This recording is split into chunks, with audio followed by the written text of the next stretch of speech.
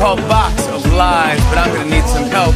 She stars in Stranger Things Season 4, premieres May 27th on Netflix. Please welcome Millie Bobby.